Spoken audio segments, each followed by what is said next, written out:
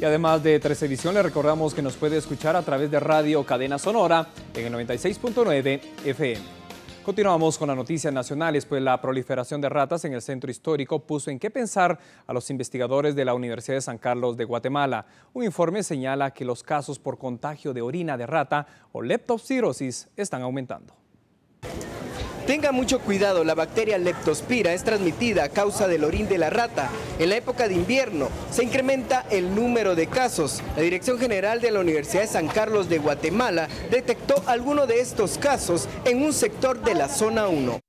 Eh, básicamente esta bacteria se transmite, de, es una enfermedad zoonótica se le llama, es transmitida por la rata, la transmite al, la pasa a los alimentos, los alimentos contaminados que consume el humano van a adquirir la enfermedad. Se puede confirmar que una enfermedad viral, tipo, eh, tipo dengue, por ejemplo. Eh, algunas manifestaciones de una leptospirosis avanzada puede ser la hemorragia que presenta, similar el dengue. Las familias más vulnerables son las personas que viven cerca de los ríos o drenajes, ya que en invierno se inundan las madrigueras de los roedores y estos salen para sobrevivir. Algunas personas que están en grave riesgo son los que viven en las personas que, viven cerca de los ríos, de los desagües. Eh, eh, no, básicamente donde hay drenajes. La letopspirosis ha cobrado una vida recientemente en Mazagua, Escuintla.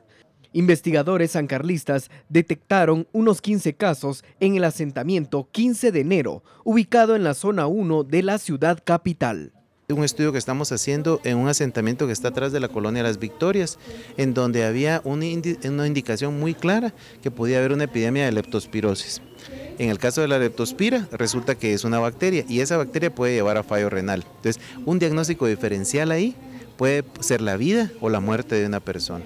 Entonces, nosotros encontramos que de 90 muestras que pudimos tomar, 15 estaban positivas. Pero básicamente necesita que haya una rata en medio, ¿verdad? orinando la comida, orinando el arroz, orinando el frijol, orinando cualquier cosa.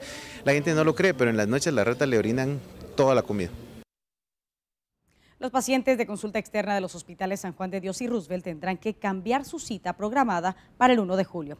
Esto se debe a que ese día será sueto porque el descanso del jueves 30, Día del Ejército, por ley se trasladó para el primer día de julio.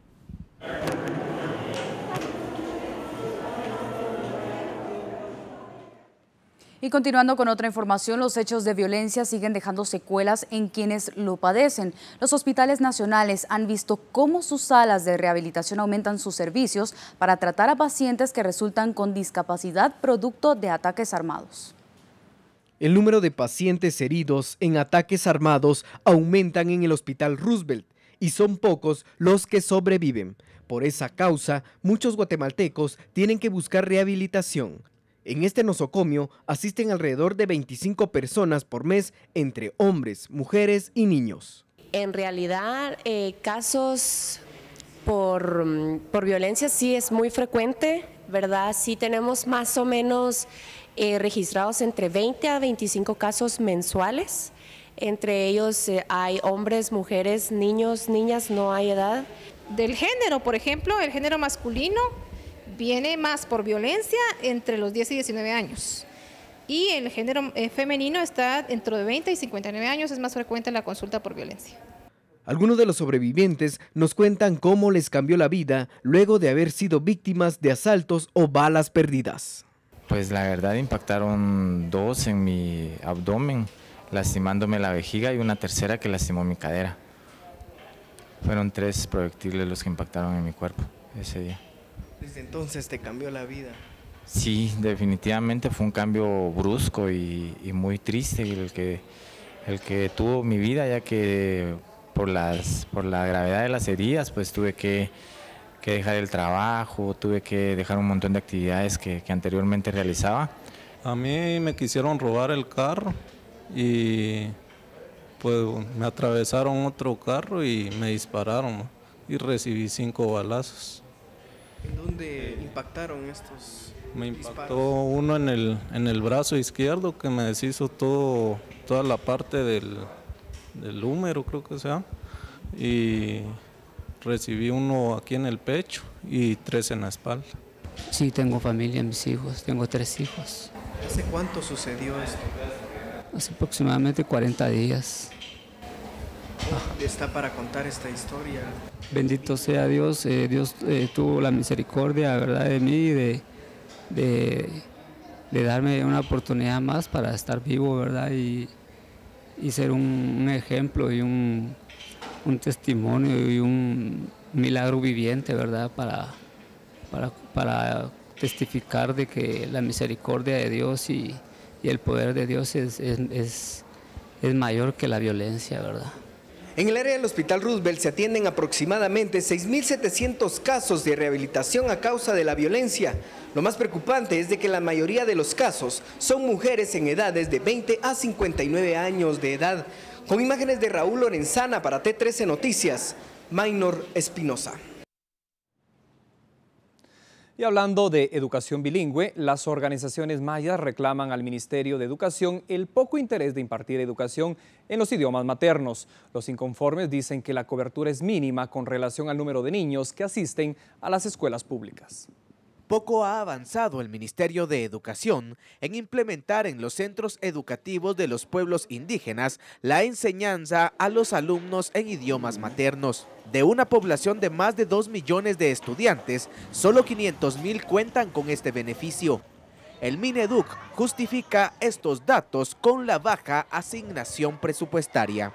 Bueno, estamos llegando a casi todas las comunidades lingüísticas, eh, de las 22 comunidades lingüísticas de, de, de, de ascendencia eh, maya, eh, poco a poco también estamos llegando a la población garífuna y a la población chinca, pero todavía no tenemos una cobertura del 100%.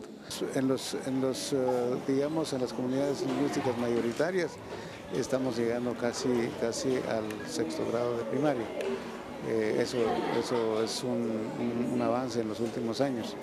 No obstante, en, los demás, en las demás comunidades sí todavía estamos en los primeros años, pero en los primeros grados, digamos, de, de la escuela primaria.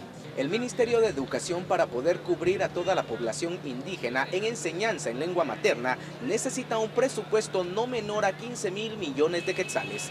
En cámara Marvin Pérez reporta para T13 Noticias Gerardo Rafael. En otro tema, este sábado 25 de junio se conmemora el Día del Maestro. La Universidad de San Carlos de Guatemala quiso reconocer la labor que han desempeñado los forjadores de juventud y sabiduría en los profesionales guatemaltecos.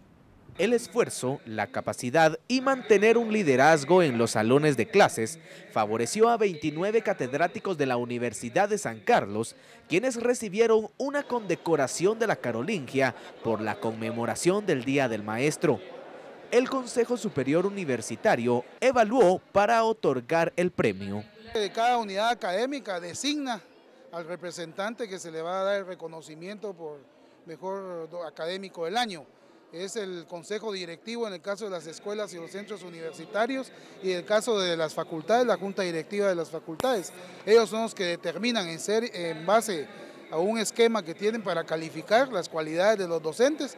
Es cierto que se hace un reconocimiento a, a, a los esfuerzos que se han hecho, pero existen muchos profesores que están en el, en el anonimato y que día a día están en el qué hacer dentro de la academia universitaria.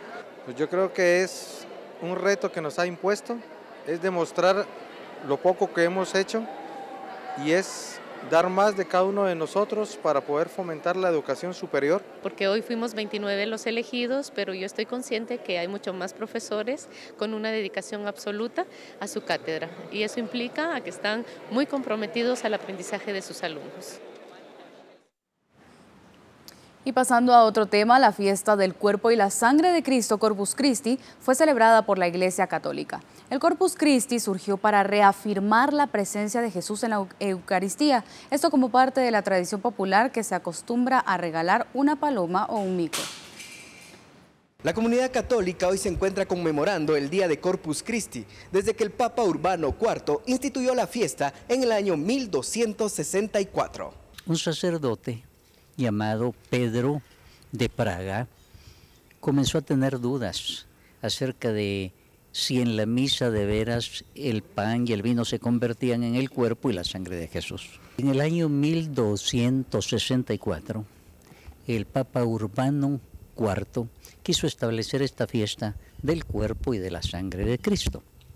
Aparte de celebrar el Día de Corpus, también se acostumbra a dar regalos curiosos que preparan vendedores en las afueras de los templos católicos. ¿Con qué productos se alistó usted para este Día de Corpus? Con micos y palomas. También vemos algunos canes. Sí, el cuerpo de Cristo. Aquí también, ¿eh? Ahí lo pueden ver. Y es un día muy especial para nosotros, conmemoramos la Eucaristía, que es el cuerpo y la sangre de Cristo. Los que vivimos enamorados del Señor sabemos que este día es especial porque es a nivel internacional. Ajá. Aparte se celebra el Día de la Amistad. Sí, también, pues lo que pasa es que aquí en Guatemala acostumbran a, eh, a eh, esa tradición de dar recuerdo del mico y la paloma. El hombre le da la paloma y la mujer le da el mico. Entonces es una tradición como una pera y también el cambio de un membrillo. Ya es tradición como decir de la amistad entre las parejas. Y muy lindo, aunque se ha ido perdiendo como dijo la señora, pero todavía se mantiene porque la señora vemos que con su familia todavía están trabajando.